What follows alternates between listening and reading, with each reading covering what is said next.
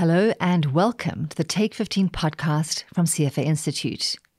I'm your host, Lauren Foster, and this is the show where we bring you an unbiased lens on investing and capital markets through short conversations with some of the world's most interesting and accomplished people. This week, I'm delighted to have Salim Ramji on the show. Salim is a CFA charter holder and a senior managing director and global head of iShares and index investments at BlackRock, where he's also a member of the Global Executive Committee. Previously, he served as the head of BlackRock's US wealth advisory business. We talk about the three biggest growth opportunities that are on Salim's radar for 2021 and beyond why in five or 10 years people will look back on the active versus passive debate and say, that was a 20th century construct. And what's next in the evolution of ETFs? It's a terrific conversation, and I hope you enjoy it as much as I did. Salim Ramji, welcome. Thanks, Lauren. Thanks for having me. Uh, it's great to have you on the show today, and you're joining us from New York City, which is very close to my, my heart. I lived there for 18 years, and I thought a, a fun place for us to start before we dive into our conversation on ETFs and indexing would be for our global audience just to sort of hear a bit about what life is like in the city these days. I know some people have called uh, it dead, and uh, Jerry Seinfeld famously weighed in with a, an op ed in the New York Times. And the headline was So You Think New York is Dead? In parentheses, it's not. So, what is life like in the city right now? Well, I didn't read the op-ed, but I agree with Jerry Seinfeld. It's a look. It's it's strange and weird, like it is in many cities all around the world at the moment, and it's certainly a little bit darker in New York than it was even a couple of months ago. Um, but you know, I'm in the office today. Uh, uh, there are uh, restaurants open outdoors. Um, and so as long as you put on a parka and maybe some gloves, uh, you can still walk around and, uh, and the like. And so I, I, think if there's one thing about New York and New Yorkers, it's resilience. and we've been through a lot over many, many years and many different events. And, and I think the city is going to be just fine. Indeed, well, I, I, certainly hope so. So, we have a lot to cover in a fairly short uh, amount of time. So, we're going to dive right in. And I'd love to start with the state of the industry and perhaps some of the misperceptions about ETFs and indexing. There are lingering concerns that ETFs have injected new risks into the system. In fact, Barbara Novick, who's a co founder of BlackRock, wrote about this on our Enterprising Investor blog. And I'd love to start there. What are some of the misperceptions, and, and what do you say to critics who worry that the expansion of ETFs um, has created potentially systemic risks? Yeah, I mean it's it's it's kind of one aspect of it is is kind of funny, Lauren, and I I like history and I like reading history, and and this year is actually the 50th anniversary um, of the first index fund ever created. Uh, it was created by uh, Black, one of BlackRock's predecessors firms in 1971. Uh, and I have a poster in my office. You can't quite see it because of the angle um, from 1979, which declares um, indexing to be un-American. Uh, and the and the thesis was from an active firm, and the thesis is because no American would want just you know average returns. And so some version of this debate has been going on for decades. Uh, and I think some of it gets caught up in, you know, the old um, active index dogma of the 70s and 80s and 90s of the last century. Um, but some of it also is um, sometimes fails to look at indexing in the broader context of the markets in which we're operating. And certainly indexation is a much bigger force now than it was 50 years ago. Uh, you know, even our first mandate uh, was a $6 million mandate for the Samsonite Luggage Corporation. And we manage a lot more than $6 million in indexation today than we did back in 1971. Um, but uh, it, it's still a very small part of the total ecosystem. And so it's 10%, indexation as a whole is 10% of the $180 trillion uh, that's uh, out there in terms of stocks and bonds in the public marketplace. Uh, and even ETFs, which are a relatively newer invention relative to indexation, they're only, they turned 30 years old last year. Uh, they're just under 5% um, of the total market of stocks and bonds, and, and, and they're less than 2% of the total bond market.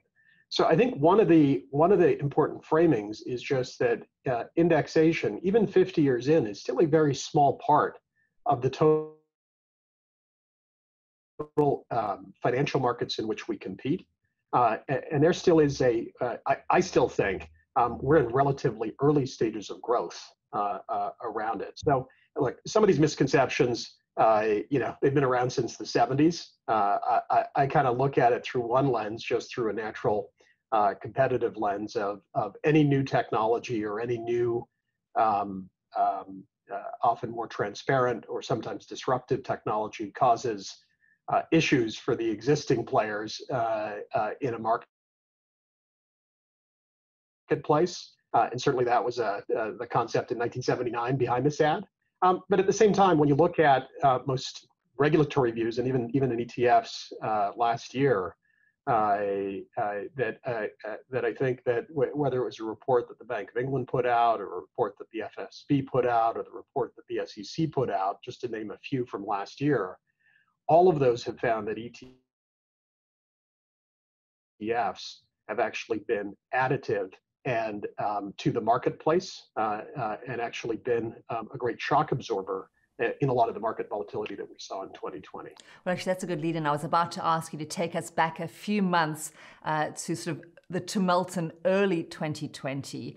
What role did the ETFs play during that period? Yeah, and that was a um, that was a pretty interesting again moment in history. Uh, it, it, was certainly the most extreme set of shocks uh, that we've seen or experienced in ETFs and in indexation. I would say in our whole history, and, and I think they were extreme not just because of the market volatility that occurred um, when the market started to understand the implications of COVID and and and uh, and its implications to economies and societies um, but it was also about liquidity in the bond market, which you know in in various parts of the bond market uh, had completely dried up, and you started to see even dislocations in things like U.S. Treasuries. Uh, uh, we had our first set of market-wide circuit breakers here in the United States. Uh, four of them were triggered um, over the course of March and April, and those were the first four that were triggered um, since a new set of rules around market structure were put into place we were doing tens of billions of dollars of index rebalancing all around the same time. And all of us and all of our partners were working from home. And so it was really an extreme set of tests that were happening. Um, and uh, I, I think the main learning, and I think this is sort of some of the perspective that we were able to get when we were able to research it, you know, three months later, six months later, uh, as well as many other um, uh, uh independent authorities were able to research it, like the ones that I cited, was that ETFs actually performed exactly how our clients expected them to. Uh, and in many cases, they performed better. That, that amid all of this volatility, and if I just take an example of the, of the bond market during that period, um, more and more investors turned to ETFs for things like price discovery or transparency or liquid markets that the bond market itself wasn't providing. And so even if you go back to like certain dates in March, like March the 12th, for example, um, uh, you can take an example of one of our ETFs. Uh, I think this is LQD, our investment grade ETF. Uh, I mean, that traded something like 90,000 times in a given day when many of the underlying, the most liquid underlying constituents were trading like 25 or 30 times. And so in this volatility, what was really happening was that more and more investors were turning to an ETF um, for liquidity, price discovery, transparency, which were all the things that we um, offer and provided. We just saw it in in in the form of extreme stress um, that we really hadn't seen before uh, in any period of history. So, we still hear a lot today about the indexing versus active debate, and this notion of what's indexing and what's active is, is pretty blurry. Um, I want to go back to an FT article that you penned that was published in March of 2020. And you wrote, and I'm going to quote here the dominant narrative surrounding exchange traded funds over their 30 year history has been a kind of active versus indexing derby, in which investors must choose one or the other. But that is the wrong way of looking at it.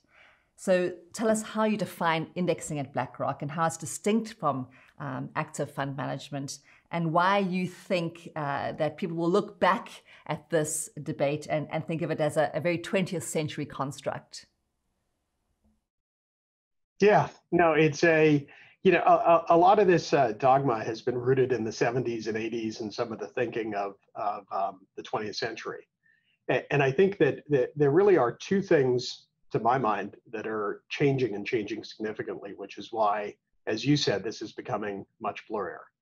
The first is really from a client lens. What the client cares about is the total portfolio return. And, and, and ultimately, issues of active or index are really about the industry. They're not about the client. They're about how we find those returns. And, and if we think instead about the total portfolio, what clients really care about is what's the return you're looking to, to achieve? What's the likelihood that you can achieve that? And how much does it cost?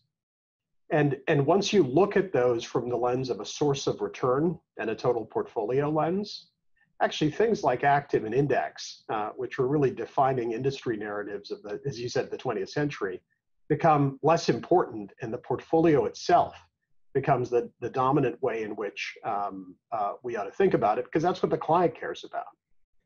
And I, I think there's a second thing which is blurring it, uh, and this we're we're trying to blur it uh, uh, even within BlackRock and within iShares, which is that you know I really look at ETFs is not just a vehicle to um, wrap indexation. Certainly, that was our roots uh, when we first started 20 years ago within iShares.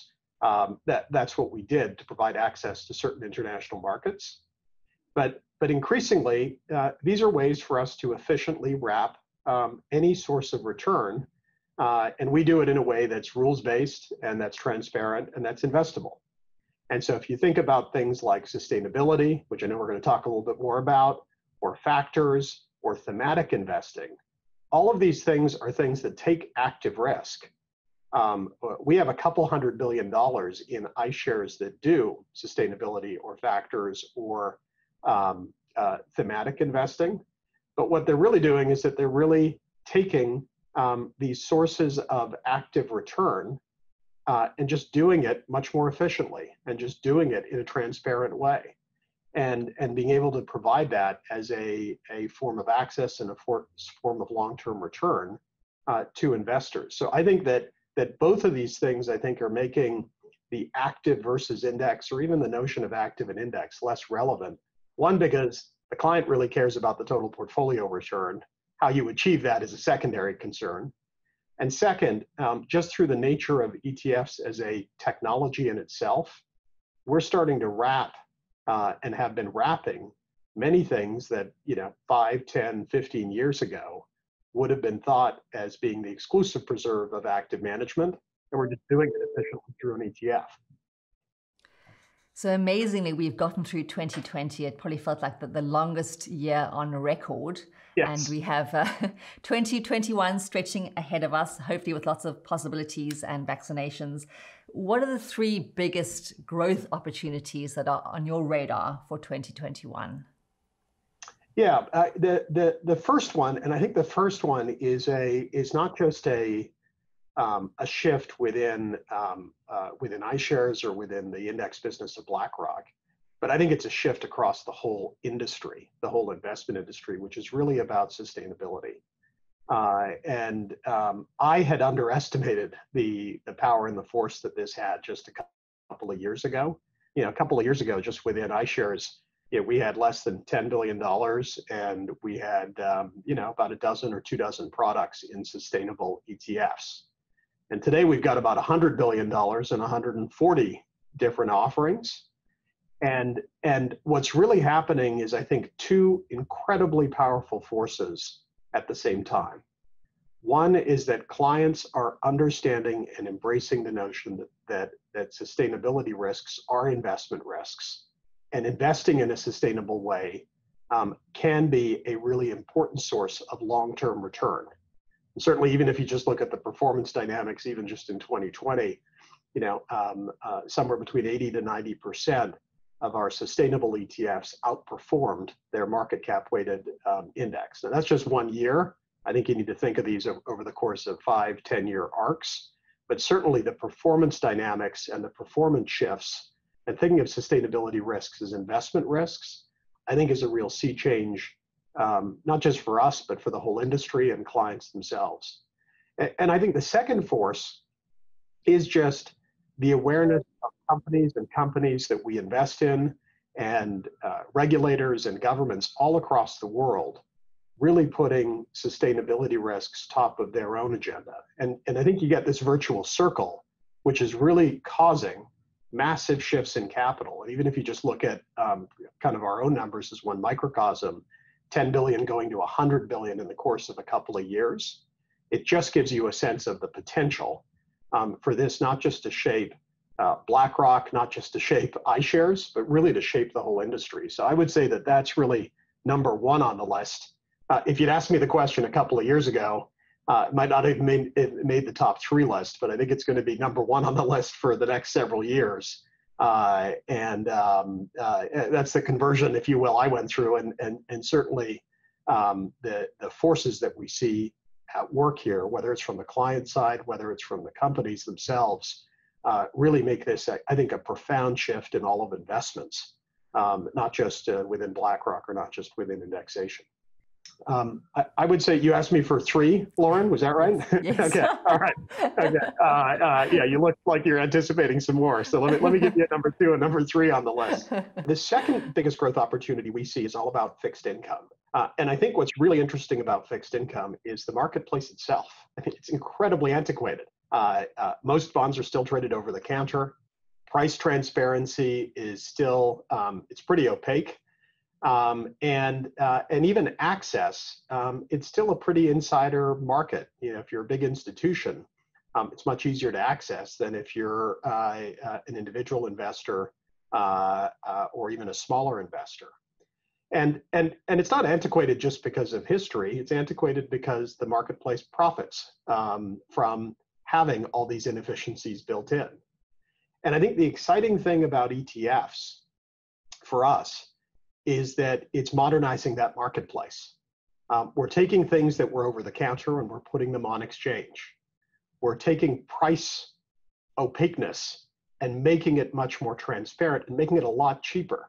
I mean, if you think about just to take an example in emerging market bonds, it's like like 50 times cheaper to trade the ETF than to trade the representative basket uh, uh, of bonds. And it's cheaper in investment grade, it's cheaper in high yield, it's cheaper in virtually every asset class to trade the ETF. And the third thing is we're democratizing access.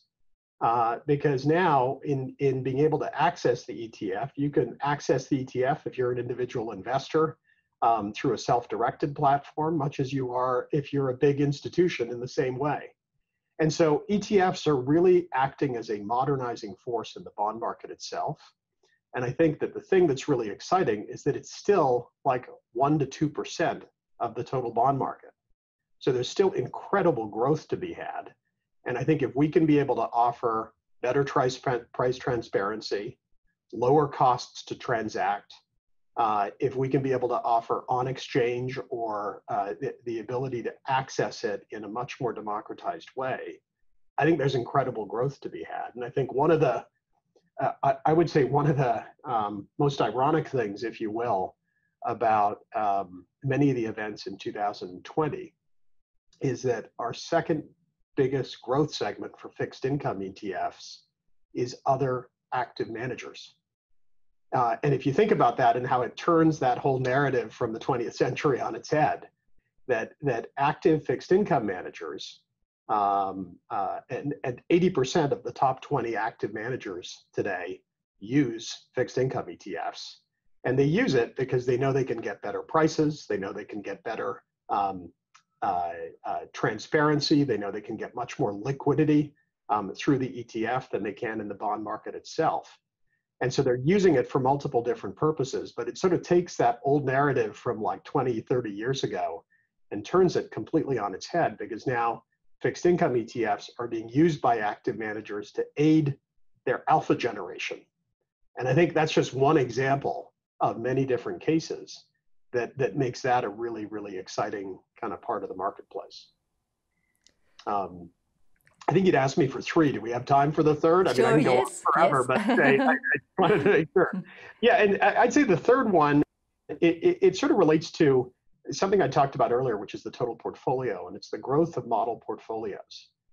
And I think the the again, you know, uh, in in the 1990s was really the heyday of the mutual fund, um, and the mutual fund became a way in which uh, many many millions of investors all over the world accessed investments. Uh, ETFs then came along and started to compete uh, with mutual funds. But I think what's really happening today is that model portfolios, so portfolios that are derived with, you know, with ETFs as building blocks, with mutual funds as building blocks, that's becoming the dominant way in which many investors all around the world are investing because investing is so complicated. I mean, there are upwards of 25,000 different mutual funds, and there are even a few thousand ETFs out there, and there are millions of different combinations that you can mix and match these in if you're a individual investor or wealth manager um, looking to, to construct these on their behalf. And I think the model portfolio is just a way in which investing is made easier and more transparent. And, and what we're seeing, something like a third of our flows uh, the year before last uh, within iShares were coming from being building blocks of model portfolios. Uh, I expect and hope over the next few years that's going to be half of our flows. And so increasingly, what we're really looking at is not the ETF or the mutual fund or the active or the index, but how do we really figure into an investor's total portfolio? And in the case of most individual investors, that's really becoming the model portfolio. And ETFs are uh, in that overall um, construction of a model portfolio. So those are the those are the big three, Lauren: sustainability, fixed income, and model portfolios. Uh, and I think, and you know, if I'm invited back to your show in in two or three years, I think those will be the top three for okay. for quite some time. Well, good to know. We wanted sort of status for you know status quo for a little while after, after such a bumpy right. 20, 2020. Um, a quick follow up question, if I may, on sustainability. You mentioned that BlackRock has, I think you said, 140 ESG ETF products. Yeah. Do you think that this creates confusion uh, among investors? Uh, I mean, I guess retail investors. Do you think it also promotes the commoditization of ESG?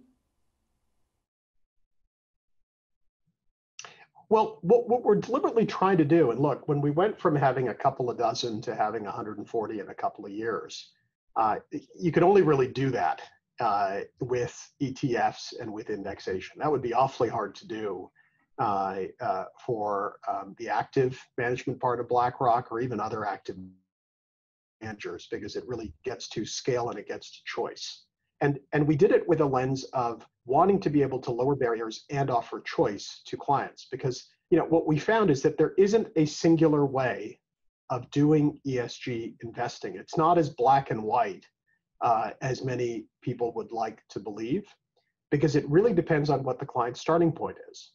So we created a whole suite of screened ETFs um, that screen out often industries or names that particularly many values-based investors um, don't want in their portfolios. Uh, and, and so that's an area that we've been doing for quite some time, but we have a whole screen suite. There's another suite which we which we created, which is really optimized, or uh, we call it ESG aware and and that's really catering to investors that may have constraints around um, in their investment policy statements around being able to track a market cap weighted index.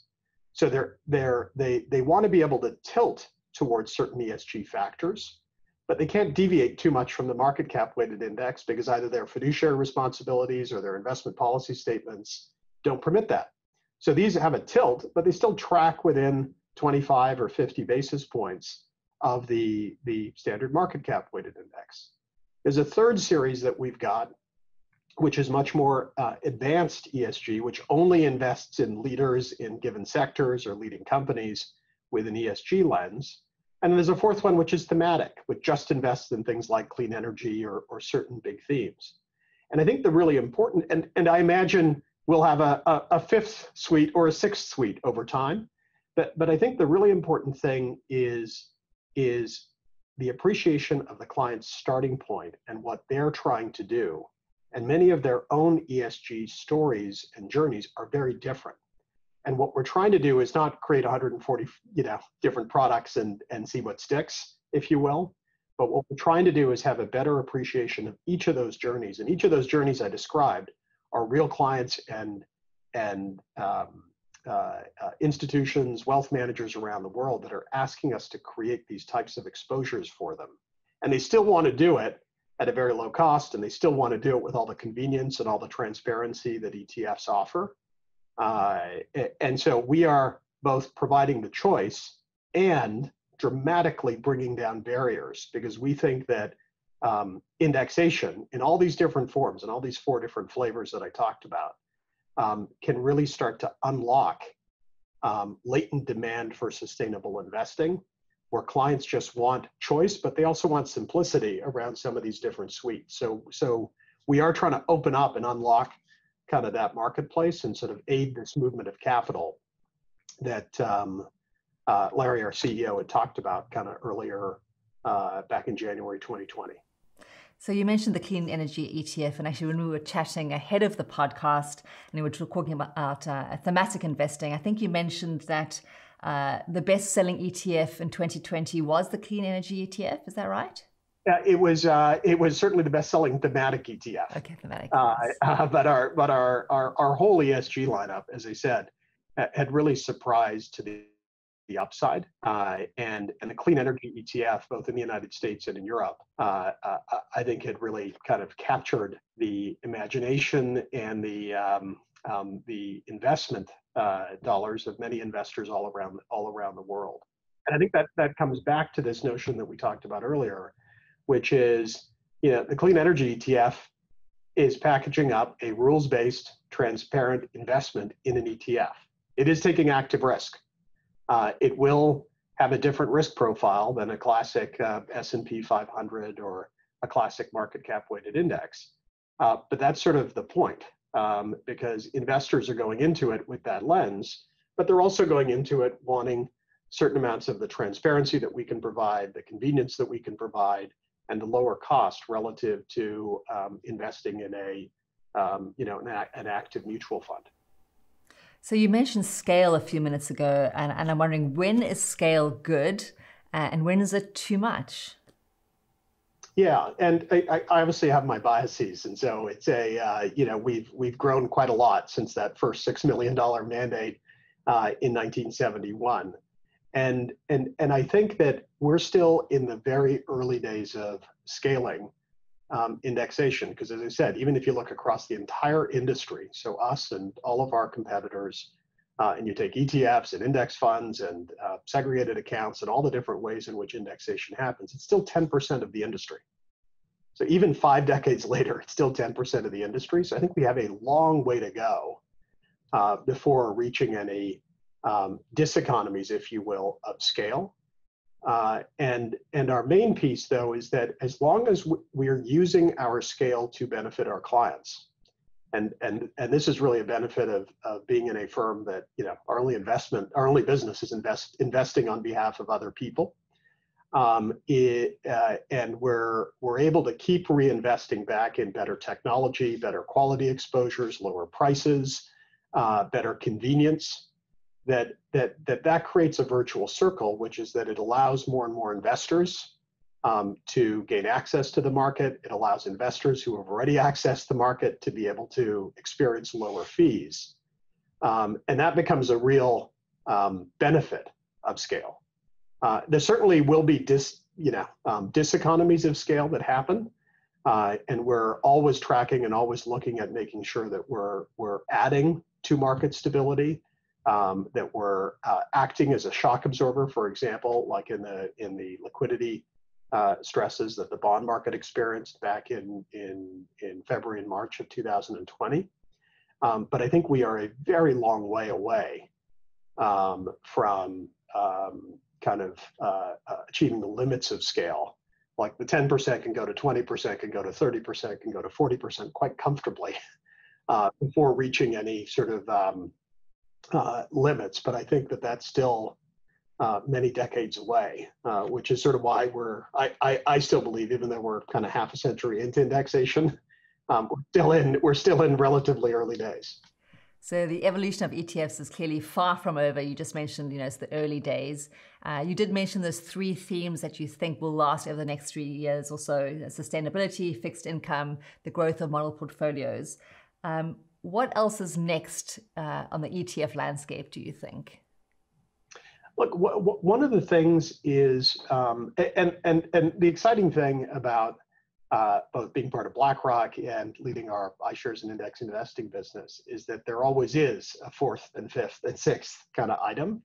Uh, factor investing has has clearly been one area that we've made significant investments and had um, uh, uh gathered flows and and are always uh, evolving um, uh, around it. And so I remain long term bullish on factor investing uh, despite some of the, uh, the performance bouts that factor investing suffered over the course of 2020.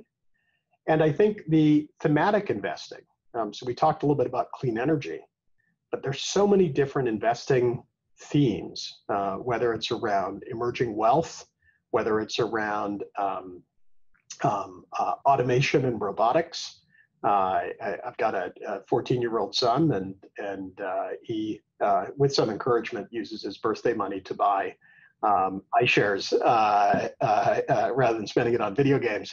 And and he has one which is all about robotics um, because that's what he's really into. And and we're able to offer all sorts of different um, themes um, in a transparent, rules based way. And so I think that the the exciting thing is that um, uh, I feel pretty high conviction about number one, two, and three, and I feel pretty high conviction that again, even if we speak in a couple of years, my the the order may change, but the one, two, and three will be pretty much the same. But the exciting thing is that four, five, and six are always sources of innovation, um, because there there is today, I think, too much complexity in the investing world, and and not all of that complexity is really benefiting the client. And I think that one of the things that we're trying to do within iShares is really make that much simpler and much more accessible. And so that's where things like thematic investing and whether it's clean energy or robotics or um, kind of other big themes that people want to get behind uh, come into place because what we're just trying to do is make it more convenient, make it simpler, to be able to, to, to enable more and more investors to, to access the market and almost cut through some of the clutter um, that's grown up and has existed um, uh, over decades. So, one of the themes that obviously will thread through many parts of life uh, in years to come is the COVID 19 pandemic.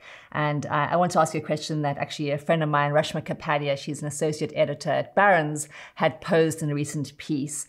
And that is what longer term scars will COVID 19 leave on investors of your generation? Gosh, that's a great, I mean, that's a great question. It's a, uh, and I, uh, uh, I think I, I had first started to get into investing uh, 30 years ago, uh, and this was during the dot com bubble, and uh, and that left a certain amount of scarring uh, uh, but but the, the the thing that that I didn't do after that was I kept too much money in cash. I didn't I didn't invest. I think that was the biggest mistake uh, that I made. Uh, and and uh, you know I have a poster behind me. I don't know if you can see it. It's an iShares poster, but it says "Don't stress, invest." and, and, I think that is um, um, uh, you know in four words the best investment advice that um, uh, that I could give. And certainly that was an experience for me back in kind of the year 2000. The, the, the same philosophy holds, I think, for 2020 and 2021. Uh, uh, I think in, in, in moments of real, I think there was real fear in the marketplace back in March of 2020, uh, where people were stressing. And and I think had they invested, uh, they would be much better off today than they were um, back then. And I think just the advances that science and technology have made uh, over the course of the COVID um, pandemic period are extraordinary. Uh, and and so betting on the optimism of scientific progress, of healthcare progress, uh, I think has been a great investment. And so I do think some of the scars today for people coming into the market for the first time may be similar uh, albeit more extreme than the ones that I'd experienced uh, um, uh, 20 years ago. But I do think the uh, uh, the thing that I learned about it, uh, which hopefully the folks in the iShares marketing department put on a poster, is is not to stress and just to invest is really really good, sound investment advice. And I think it it fight against all the tendencies that we have as human beings to adhere to it. And even I still sometimes sometimes struggle um, with it, but just having a consistent stay invested philosophy is, I think, the best thing yes. for all kinds of investors uh, uh, over the long term. Indeed, it reminds me of that British poster, you know, keep calm and carry on. So we have to yeah. just keep keep calm. Um, so you mentioned science and technology, and that's a, a, perfect segue to one of our two closing questions. And the first yep. closing question is just a fun, uh, a, a, fun question. Uh, you're going on a long duration space flight, and you're allowed to take with you one object. What would that object be? And it's an object. It's not a person. That's right.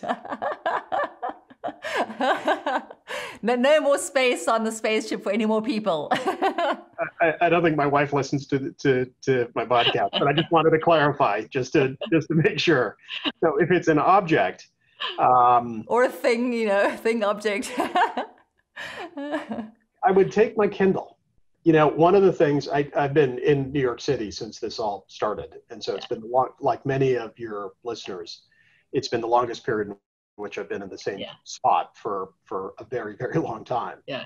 And and uh, well, I have I've never taken a space flight. I I used to love uh, and, and, hope to do again this year those long flights to Asia, and and and I love the period of being able to read and to be able to reflect, and just having the time away from things um, to be able to have 10 hours or 12 hours or 15 hours in some cases to be able to do that. And the Kindle was always my great companion. Uh, and I think one of one of the things about 2020, like all of us, we've been on Zoom calls for like you know 12 or 15 hours a day or something, and then we're unloading the dishwasher and trying to make dinner and and and and all sorts of other things. And I think that uh, certainly I miss that quiet time to reflect. So I would I would take my Kindle uh, uh, uh, and in there you get you know hundreds and thousands of books and the ability to kind of be, be able to learn and, and, and reflect in ways that I haven't been able to do as much in 2020. Indeed. Well, if your wife does listen, at least you're getting brownie points for mentioning that you would want to take her with her on the on the space flight. So our, our closing. My kids, my kids will complain about. Right. Yes. Why not me, Dad?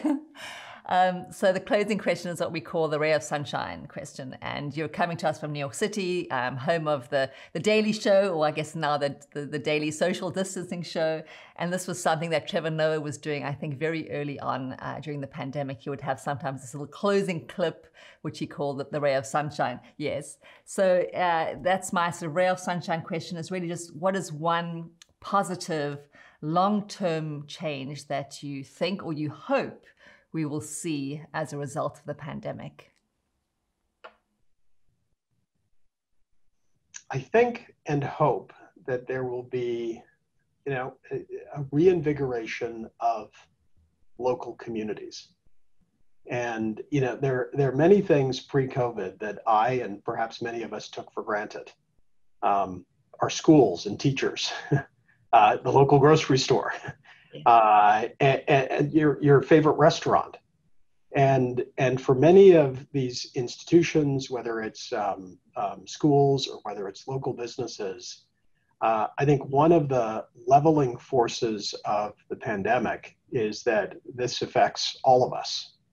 And and and I think the rebuilding that now needs to happen um, beyond all the science and the healthcare and and and the great work that um, that, that whole community is doing is a rebuilding of our local communities. And, and i think it's certainly for me um, uh, brought to the forefront of my mind things that perhaps i took for granted and have kind of realized um, just how important they are um, to our happiness and to a well functioning kind of life. And so I, I really hope that that um, uh, local communities and and uh, our ability to bring back um, just good civics uh, and the ability to care for each other will be a long-term positive uh, coming out of this uh, this particular pandemic. Well, I certainly hope so, and it's been a very positive, engaging experience today. I've really enjoyed our conversation, Salim. So uh, thank you very much. Good luck in New York City. I send my love to my, my former hometown um, and all the best to you. Thank you. If you enjoyed today's episode, please consider rating and reviewing us on iTunes or wherever you're listening. We'd love to hear your thoughts and it helps others find the show. Also, a quick reminder this podcast isn't intended to provide expert advice on the topics we covered. If you need tax, accounting, or legal advice, please consult a professional. I am Lauren Foster. Thanks so much for listening.